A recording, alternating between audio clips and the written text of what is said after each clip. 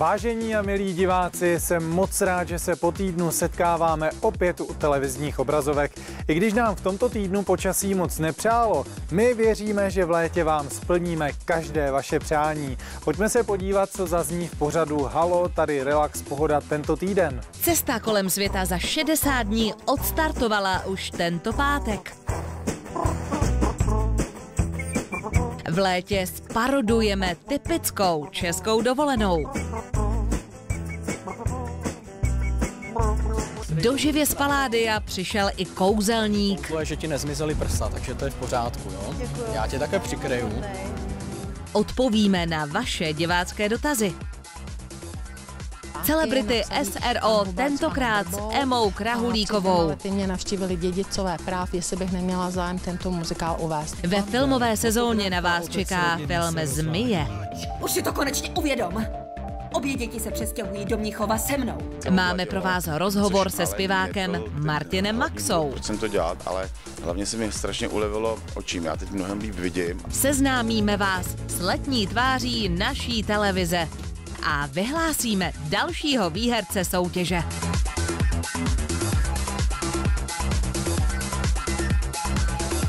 Pro všechny milovníky cestování si televize Relax Pohoda připravila na léto skutečnou specialitu a odstartovali jsme už tento pátek. V 60 dílech nového pořadu Cesta kolem světa za 60 dní vás Jaromír Nosek a Šimon Jelínek provedou rozmanitými zákoutími po celém světě. Podíváme se třeba společně do slavných hotelových komplexů, vylezeme na nejvyšší horu světa, anebo se budeme potápět s delfíny. Cesta kolem světa za 60 dní bude pořad plný syrového a charismatického humoru.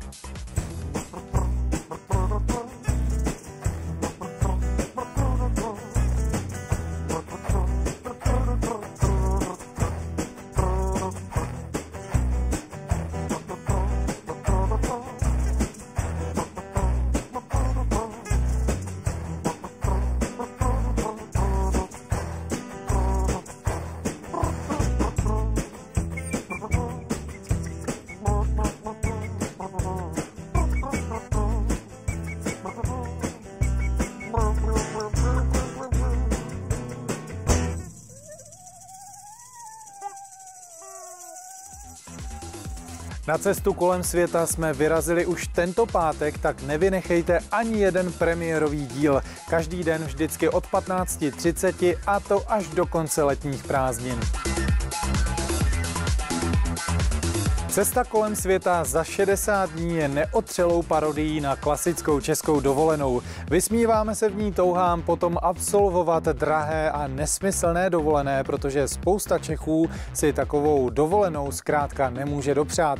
V cestě kolem světa za 60 dní o drahé a nebo fyzicky nedostižné dovolené můžete snít s našimi moderátory alias Liborem a Dušanem, fiktivními postavami, které si moderátoři pro tento pořad sami vytvořili. Kamarády jim v záběrech, kdy sní o přeplněných rautových stolech v luxusních komplexech hotelů, dělají třeba chleba se sádlem, když vzpomínají na neutuchající nádheru Niagarských vodopádů, kytara a píseň testně hučí Niagara. V neposlední řadě se dá moře udělat i tak, že se voda na pražském koupališti Čbán v divoké šárce jednoduše dosolí celým pitlíkem soli. V některých dílech se vypravíme třeba jenom tak po Evropě, jindy doletíme až do Jižní Jižní Afriky nebo na Mauritius, Ibizu, do Dubaje nebo do Ázie. Rozhodně si nenechte tento nevšední zážitek ujít a sledujte Libora a Dušana. Úžasnou dovolenou si můžete naplno totiž užít i tady u nás v Česku. Dušané? No, Na co koukáš? hele Libore, tohle je podle tebe ta česká Copacabana? No jasně. A ty by se s tom koupal? No, jasně. Ty o tom mluvíš, jako kdyby si někdy na Copacabáně byl? Tak snad jasně ne. No ale tady není ani žádná nuda pláž. Když tady je nuda, tamhle je pláž. To dejte dohromady, ne? No jasně. No. Slovo pláž je vlastně synonymem RIA. O víkendech se místní kariokas tlačí na pláže po tisících. Tohle je Ipanema, Magnet pro staré i mladé, bohaté i chudé. Právě tady Kariokas jakoby zapomínají na společenské rozdíly, politiku i vyznání. Je to nádherné vidět tuhle kulturu zábavy a sluníčka v praxi. Jen blok od této pláže je další kavárna, která stojí za návštěvou Agorata de Ipanema. Dívka z Ipanema. Tady totiž tom Chobim složil klasický hit, když se kochal nádhernou ženou směřující k pláži.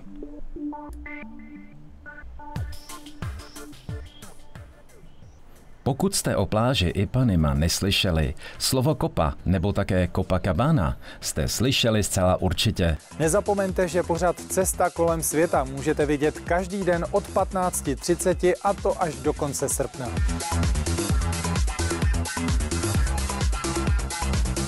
A teď se vypravíme na exkurzi do pražského studia v obchodním centru Palladium. Tento týden měl Šimon Jelínek tu čest popovídat si se světově proslulým mistrem v thaiboxu, dále s Radimem Pavelkou a Jaroslavem Stichem, se kterými mluvil o vhodné sebeobraně žen. Novou rubriku čínského cvičení Kichung dorazila představit Michála Sklářová. Cvičit s ní můžeme pravidelně od 1. července každou středu od 17 hodin. Můžete si říkat, teď už stačí říct jenom možná tam příště přijde i kouzelník, ale ve středu skutečně kouzelník dorazil a to Štěpán Šmít. Pojďme se podívat na to, jak nechal naši moderátorku Veroniku Petrovou levitovat. Náš host, náš kouzelník Štěpán Šmít slíbil, že tady já ve studiu budu levitovat. Tak na to jsem hodně, hodně zvědavá. Budu levitovat nebo ne? Tak já jsem taky zvědavý, jestli budeme levitovat. Tak prosím tě, vyskoč mi tady na ten stoleček, máte to je pěkný. Vyskoč nahoru. Super, no vyskoč. Já jsem včera měla tvrdý trénink se svou trenérkou Nikolou Bartákovou a... Tak, možná pojď trošku maličko víc ke mně. Sotva Nohy se dej, nohy se dej dolů, ruce nahoru. Ano. První kouzlo je, že ti nezmizely prsa, takže to je v pořádku, jo? Děkuju. Já tě také přikryju. A neodletím tamhle do toho skleněného stropu? No, chyť si to, chyť si to. Tak, výborně, hlavu si maličko zakloň. Zkusíme. Pokud se budeš soustředit, tak za pár vteřin nám to začne.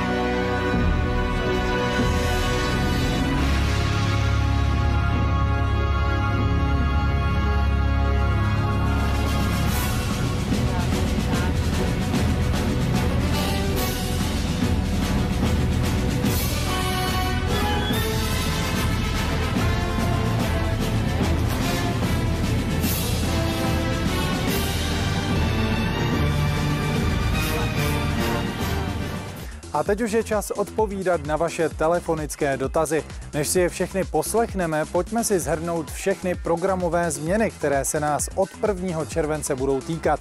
Telenovela Divoký měsíc poběží pouze v premiérovém čase a to vždy od 18.05. Film týdne nebude v pátek a v sobotu začínat ve 22.00, ale už v 21.50 a přes léto nebudeme vysílat pořad práce pro tebe. Jinak všechno zůstává tak, jak jste zvyklí a dvojitou porci seriálů vám budeme v pravidelných časech servírovat až do konce srpna. A teď se pojďme podívat, kdo nám zavolal jako první. Tady posluchačka z Nového města nad Netví. Dívala jsem se na Milagros, na divokého anděla. Moc bych chtěla poděkovat vašim prostřednictvím paní Ivance Anderlovi za její překrásné dabování. A prosím vás, pokud to je možné, tak věříte, že ti zaslouží medaili a ne leda jakou, ale zlatou. Mějte se moc hezky a moc a moc vás zdravím. Naschledanou. Váš vzkaz paní Andrlové moc rádi předáme, určitě ji moc potěší. Dobrý den, tady Markéta. Chtěla jsem se zeptat, proč vypa- vypadává divoký měsíc a proč vypadává celý program televize Relax. Děkuji pěkně, nashledanou. Paní Markéta zřejmě myslí, že jí vypadává signál na jejím televizním přijímači. Pokud se vám opakovaně stává, že v lokalitě, kde bydlíte, vypadává signál šířený v DVB-T síti Multiplexu 4, obraťte se na linku technické podpory 595 694 660. Dobrý den, prosím vás, můžete mi sdělit, kolik dílů má telenovela Divoký měsíc? Děkuji za odpověď. Tak divoký měsíc, natočený v roce 2000, má přesně 151 dílů. Stačí pár kliknutí a informace o vašich oblíbených seriálech, telenovelách a pořadech je tady. Náš televizní program naleznete na tv.seznam.cz. Zde stačí v kolonce TV stanice zaškrtnout vaši oblíbenou televizi Relax. Program televize Relax najdete i na serveru iDnes.cz, kde si opět stačí přidat televizi Relax do sledovaných stanic. Také jsme na serveru csfd.cz. I zde si stačí přidat naši televizní stanici. Dále nás najdete na serverech tv.sms.cz, programy pomlčka tv.cz a fdb.cz. V případě jakéhokoliv dotazu ohledně zobrazování našeho televizního programu neváhejte kontaktovat naši horkou linku 596 969 133.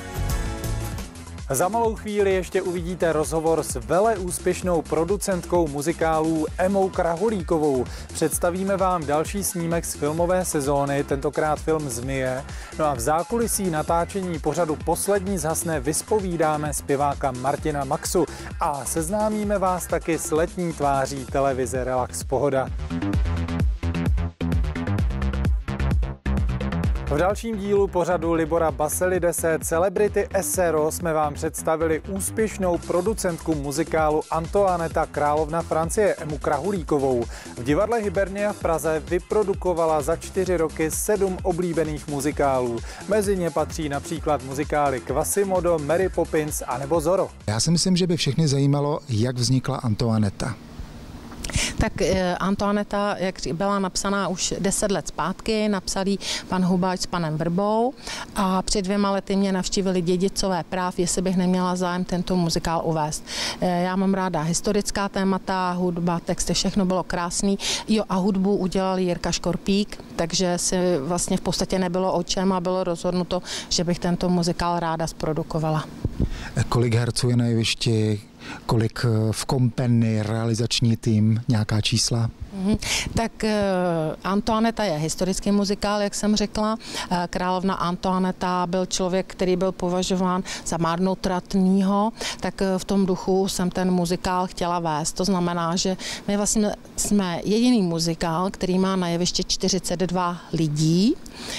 Eh, královna je opravdu marnotratná, protože kostýmy jsme si nechali navrhnout Pepou eh, Jelínkem a nechali jsme si je ušít v Národním divadle, kde opravdu udělali přenádherný a stále nás 2,5 milionu. A každý, kdo chodí na muzikály, tak ví, že je to opravdu veliká částka za kostýmy, ale já jsem cítila, že by to tak mělo být. A důležitá informace, premiéru pořadu Celebrity SRO a neb s relaxem otevřeně můžete sledovat každou středu od 25.20.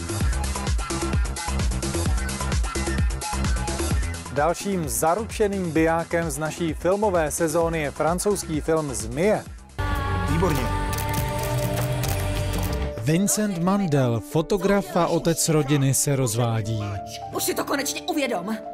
Obě děti se přestěhují do Mnichova se mnou. Celý jeho život se hroutí, protože se nechal až příliš často řídit svým kamarádem Josephem.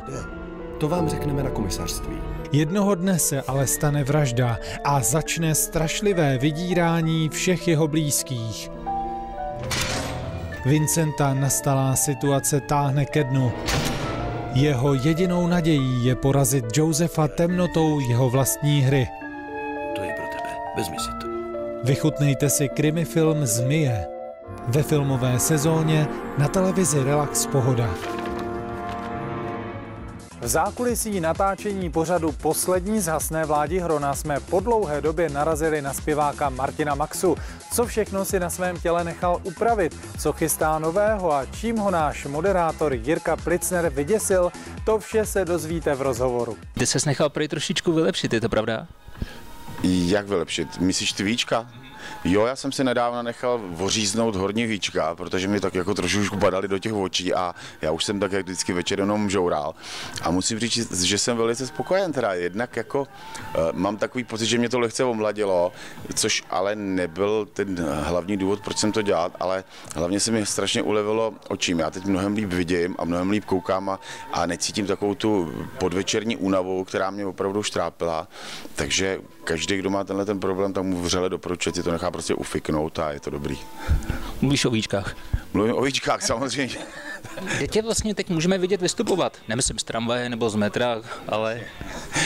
No nejlepší bude, když v tomhle ohledu odkážu posluch diváky na, na, moje, na moje webové stránky. Já si to totiž přesně úplně nepamatuju a musím říct, že teď v létě toho mám, zejména v létě toho mám hrozně moc a uh, já si většinou pamatuju jenom ten následující týden. Ale na mých webovkách v podstatě jsou všechna města, kde vystupuji a já myslím, že si diváci přijdou na sebe, protože těch měst je skutečně celá řada a, a obsahují v podstatě celou republiku, takže, uh, takže tam se dozví www.martinmaxa.cz.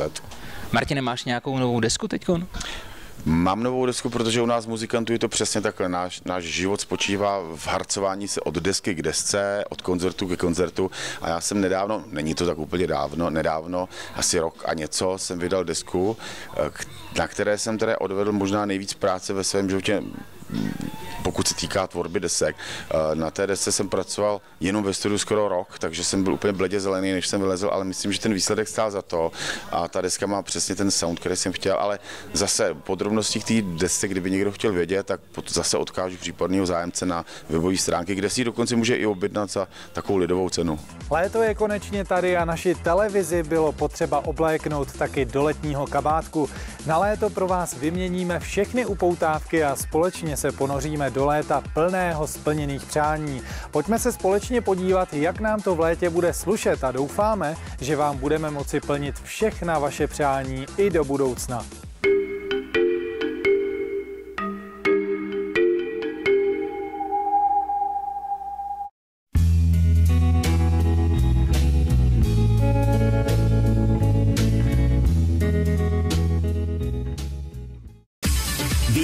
Romantiky, více zábavy, více cestování.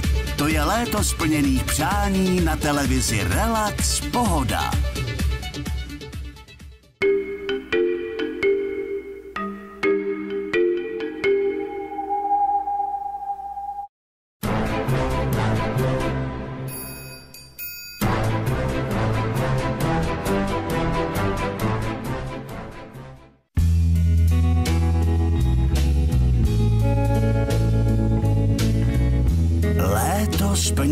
Přání na televizi Relax Pohoda.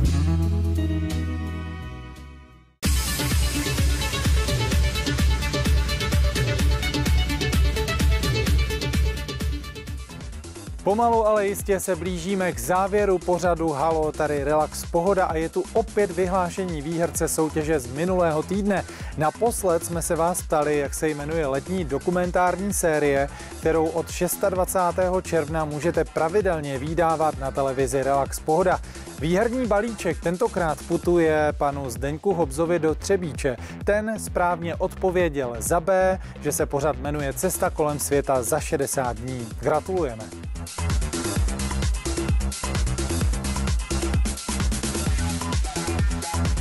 Jaká je soutěžní otázka pro týden následující? Jak se jmenuje režisér, který natočil francouzský film Zmije, který vysíláme příští pátek? Za A. Erik Barbier, za B. Ivan Atal nebo za C. Clovis Kornilak? Odpovědi volejte na horkou linku 596 969 133 nebo pište na soutes zavináč televize Relax.cz. Výherce opět obdrží dárkový balíček televize Relax Pohoda. No a na závěr si opět zrekapitulujeme, o čem všem jsme si dneska povídali. Odstartovali jsme cestu kolem světa za 60 dní. V létě sparodujeme typickou českou dovolenou. V pořadu živě z Paládia se kouzlilo. Kouzlo je, že ti nezmizely prsa, takže to je v pořádku, jo? Já tě také přikryju. Odpovídali jsme na vaše telefonické dotazy. Naučili jsme se, jak se vyrábí muzikály. A před dvěma lety mě navštívili dědicové práv, jestli bych neměla zájem tento muzikál uvést. Představili jsme si film Zmije. rodiny se rozvádí. Už si to konečně uvědom.